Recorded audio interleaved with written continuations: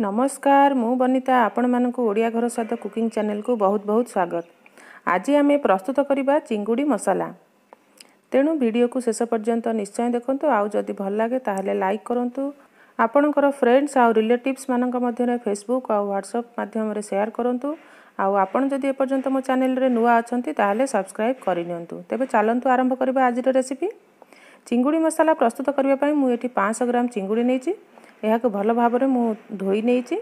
ପ୍ରଥମେ ଚିଙ୍ଗୁଡ଼ିକୁ ଆମେ ମ୍ୟାରିନେଟ୍ କରିନେବା। ସେଥିପାଇଁ ସେଥିରେ ୱାନ୍ ଫୋର୍ଥ ଟିସ୍ପୁନ୍ ହଳଦୀ ପାଉଡ଼ର ଆଡ଼୍ କରିନେବା ଓ ୱାନ୍ ଫୋର୍ଥ ଟିସ୍ପୁନ୍ ଲୁଣ ଆଡ଼୍ କରିଦେବା ଓ ଏହାକୁ ଭଲ ଭାବରେ ମିଶାଇ ନେବା।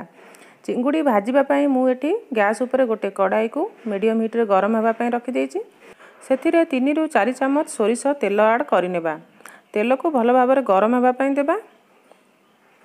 ବର୍ତ୍ତମାନ ତେଲ ଭଲ ଭାବରେ ଗରମ ହୋଇଯାଇଛି। ସେଥିରେ ମ୍ୟାରିନେଟ୍ କରି ରଖିଥିବା ଚିଙ୍ଗୁଡ଼ିକୁ ଏହିପରି ଭାଜି ନେବା। ଗ୍ୟାସ୍ର ଫ୍ଲେମ୍କୁ ମୁଁ ଏଠି ହାଇ ମିଡ଼ିୟମ୍ରେ ରଖିଛି।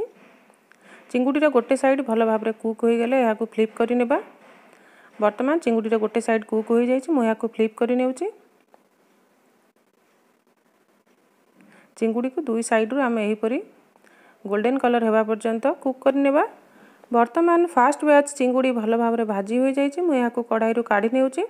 ଠିକ୍ ସେହି ସେମ୍ ପ୍ରୋସେସ୍ରେ ମ୍ୟାରିନେଟ୍ କରି ରଖିଥିବା ସବୁ ଚିଙ୍ଗୁଡ଼ି ଗୁଡ଼ିକୁ ଆମେ ଭାଜି ନେବା। ଏହିପରି ଭାବରେ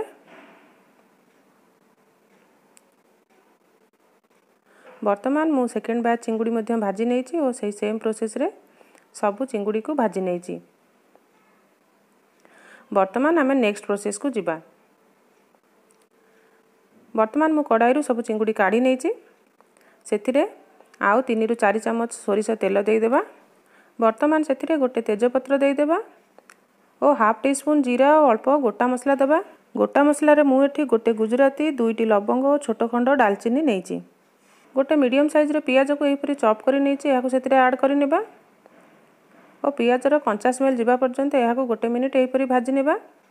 ବର୍ତ୍ତମାନ ସେଥିରେ ସ୍ୱାଦ ଅନୁସାରେ ଲୁଣ ଦେଇଦେବା ଯାହାଦ୍ୱାରା ପିଆଜ ଆମର ବହୁତ ଶୀଘ୍ର ଗୋଲ୍ଡେନ୍ ବ୍ରାଉନ୍ କଲର୍ ହୋଇଯିବ। ଲୁଣ ଏଠି ଆପଣ ଦେଖିକି ନେବେ କାରଣ ଆମେ ଚିଙ୍ଗୁଡ଼ି ମ୍ୟାରିନେଟ୍ କଲାବେଳେ ଲୁଣ ଆଡ଼୍ କରିଥିଲେ।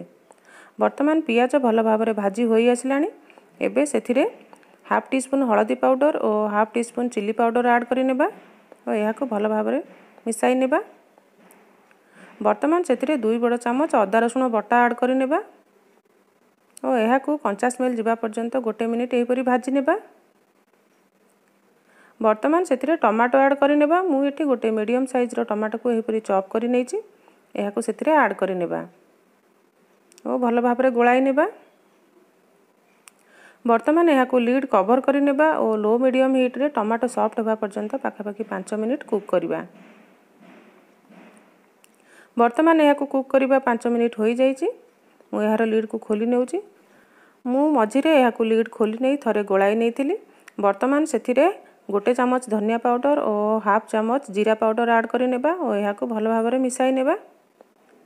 ବର୍ତ୍ତମାନ ମସଲା ଆମର କଷି ହୋଇ ଆସିଲାଣି। ଏବେ ଆମେ ସେଥିରେ ଭାଜିକି ରଖିଥିବା ଚିଙ୍ଗୁଡ଼ିକୁ ଆଡ଼୍ କରିନେବା ଓ ଏହାକୁ ମସଲା ସହିତ ଗୋଟେରୁ ଦୁଇ ମିନିଟ୍ କଷି ନେବା। ଗ୍ୟାସ୍ର ଫ୍ଲେମ୍କୁ ମୁଁ ଏଠି ଲୋ ମିଡ଼ିୟମ୍ରେ ରଖିଛି। ବର୍ତ୍ତମାନ ଏହାକୁ ଲିଡ଼୍ କଭର୍ କରିନେବା ଓ ଗୋଟେ ଦୁଇ ମିନିଟ୍ କୁକ୍ କରିବା। ବର୍ତ୍ତମାନ ଏହାକୁ କୁକ୍ କରିବା ଦୁଇ ମିନିଟ୍ ହୋଇଯାଇଛି।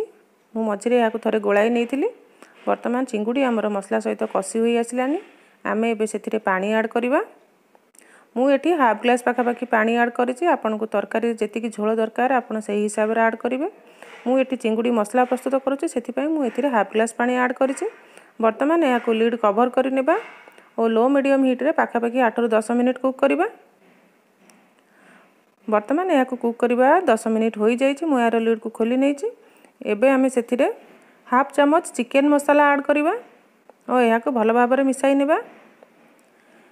ବର୍ତ୍ତମାନ ଏହାକୁ ଲୋ ମିଡ଼ିୟମ୍ ହିଟ୍ରେ ଆଉ ଗୋଟେ ମିନିଟ୍ କଭର୍ କରି କୁକ୍ କରିବା। ବର୍ତ୍ତମାନ ଏହାକୁ କୁକ୍ କରିବା ଗୋଟେ ମିନିଟ୍ ହୋଇଯାଇଛି। ଚିଙ୍ଗୁଡ଼ି ମସଲା ଆମର ଏକଦମ ପ୍ରସ୍ତୁତ ହୋଇଯାଇଛି। ଶେଷରେ ଆମେ ଏଥିରେ ଅଳ୍ପ ଧନିଆ ପତ୍ରକୁ ଚପ୍ କରି ଆଡ଼୍ କରିନେବା ଭଲ ଭାବରେ ମିଶାଇ ନେବା ଓ ଗ୍ୟାସ୍ର ଫ୍ଲେମ୍କୁ ଅଫ୍ କରି ନେବା। ବର୍ତ୍ତମାନ ଆମର ପ୍ରସ୍ତୁତ ହୋଇଯାଇଛି ଚିଙ୍ଗୁଡ଼ି ମସଲା। ଆପଣ ଏହିପରି ଭାବରେ ଘରେ ନିଶ୍ଚୟ ପ୍ରିପେୟାର କରନ୍ତୁ ଓ ଆପଣଙ୍କର ଅନୁଭୂତି କମେଣ୍ଟ ସେକ୍ସନରେ ନିଶ୍ଚୟ ସେୟାର କରନ୍ତୁ। ଆଉ ଯଦି ଆଜି ଆପଣଙ୍କୁ ଏହି ଭିଡ଼ିଓଟି ଭଲ ଲାଗିଥାଏ ତାହେଲେ ନିଶ୍ଚୟ ଲାଇକ୍ ସେୟାର କରି ମୋ ଚ୍ୟାନେଲକୁ ସବସ୍କ୍ରାଇବ୍ କରିନିଅନ୍ତୁ ପୁଣି ଥରେ ଦେଖାହେବ ଆଉ ଏକ ନୂଆ ରେସିପି ସହିତ। ସେ ପର୍ଯ୍ୟନ୍ତ bye bye. Thanks for watching